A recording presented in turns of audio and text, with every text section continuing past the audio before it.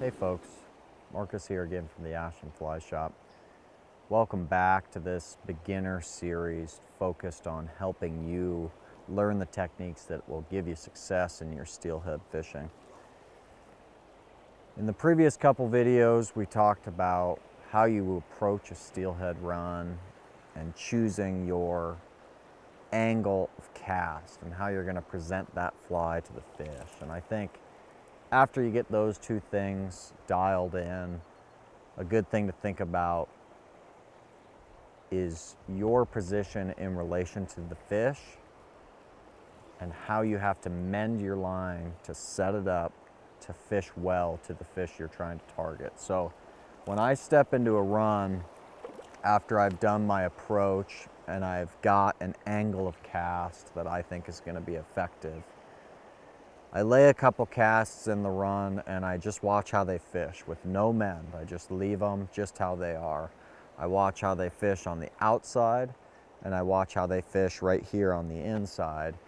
And what that tells me is it gives me some indication of what I'm gonna have to do to manipulate the line to get it to fish right. There are certain runs where you're not gonna have to do anything and you can just throw the thing out there let it fish and great.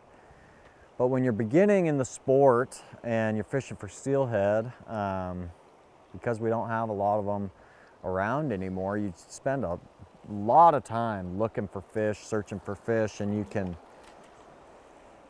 when you're beginning, it's tough to know if you're spending time effectively or spending time ineffectively. And so I want to show you how to set up a cast to get it fishing effectively and give you the techniques that you need to do that on your own home water, to pick apart any piece of water and learn how to mend and manipulate the line to get it to go how you want to go.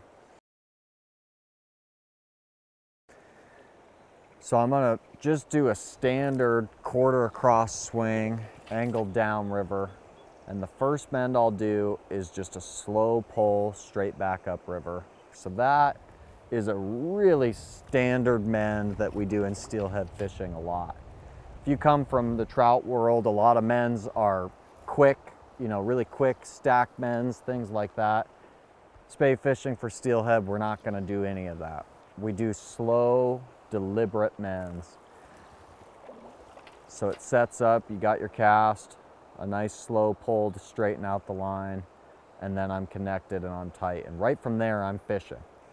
And then as I come under tension, what I do is, if I want that line to go totally steady with the current, I just point my rod tip right at the back end of my spey line. If I want it to go faster, I point the line towards the bank.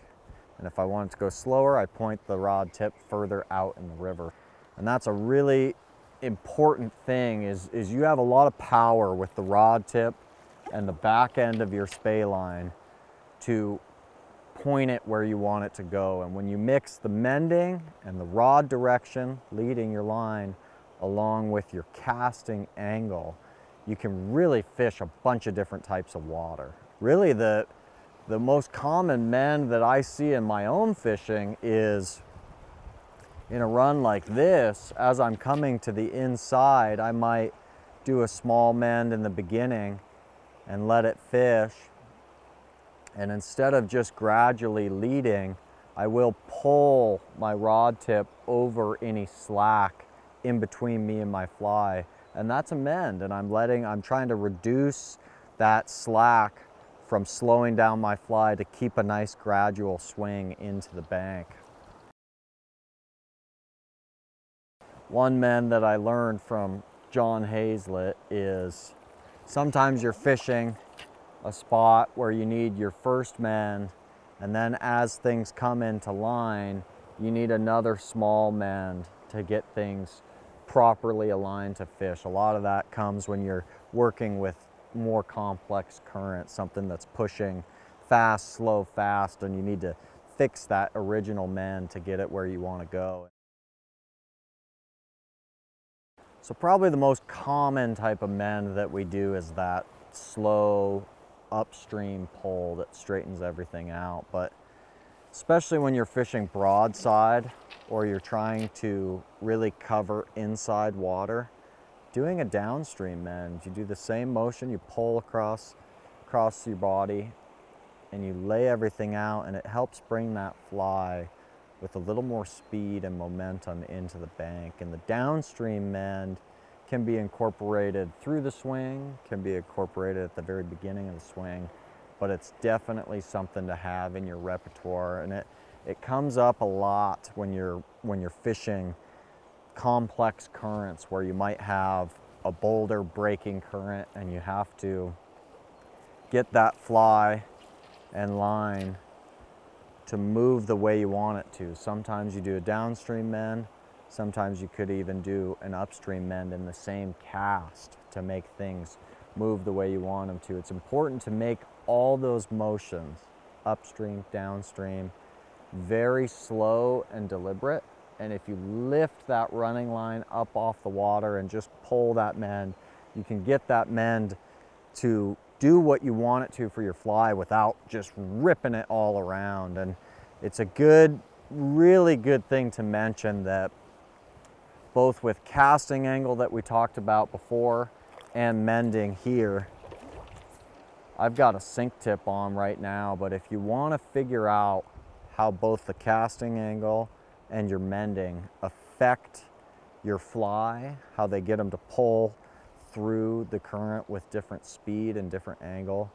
Fishing a dry fly, there's almost no substitute for throwing on a dry fly because as it's skating across the surface, you can see what that mend does. You can see the angle and the speed that those mends put in it. So I would say that's a really good tip is to fish a dry fly in certain places.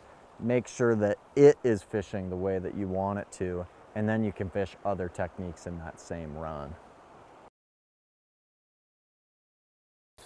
If you're fishing in situations where depth is something you're interested in, oftentimes in winter steelhead fishing, throwing a cast out there, doing a big pulling mend, straightening everything out, waiting till it's straightened, and then taking a couple steps and doing a fixing mend is really a good way to let that fly just drop a few feet until you start fishing through the current.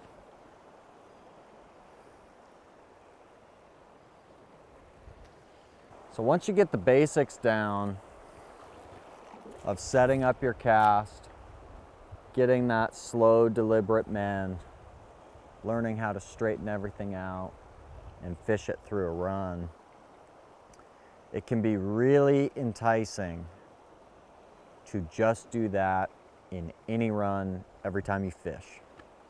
But the reality is, is if I started up at the head of the run and I was fishing all the way through to this tail out, throughout the way, I would have to incorporate a couple different mends to fish an entire run well. And that, we get questions about mending or, you know, which sink tip to use and stuff like that. And the reality is, is that every cast, every run, maybe even every part of the run might call for something a little bit different. And that's when it becomes useful to just know the techniques. You know that if you can sweep your rod towards the bank to lift out any slack, that that's a mend that's gonna bring your fly into the bank with a little more speed. You know that if you want depth, you can step with it as you mend and get your fly deeper. And then it becomes, it's on you to use that knowledge of how you're mending and watching every cast. I said at the beginning that I like to spend a few casts in each run just watching the line come across before deciding to mend. And really, as you step down through, you're working with different speeds, different currents, different depths. You're going to have to create a game plan on the fly every time you're casting, every time you're working through a run to figure out what mend, what setup, what casting angle is going to fish best through the run. The last point that I'll make about mending is if I'm fishing a Skagit line and a sink tip and I hang up, it's not my first move to change out the sink tip. my first move is often to either change the angle of the cast, do a more broadside cast, or change my mending tactic. Maybe mend less to just keep that fly up above the point where you hit on the last cast. And oftentimes with mending and casting angle, you can choose a sink tip and if you're tapping rocks or tapping bottom, you can adjust with mending and casting angle before getting to the point that you need to switch out sink tips or you know, choose a lighter fly or something like that. So it's important to think about mending and casting angle as keeping your fly in the grabby part of the water column. You're trying to keep it above the fish, keeping it in the zone where it's gonna get grabbed. So it's one of those things that honestly I'm still learning about. Um, and when I'm out on the water, I'm consciously trying to think about every run, every piece of water, and how my casting and mending is either fishing that water well or fishing it poorly. And it's something that you'll build over the years. But in the beginning, using those couple techniques, that slow pull, the fixer mend, the mend into the bank is really going to give you a set of techniques that you can use to help pick apart any piece of water. So thank you very much for tuning in to this little piece on mending.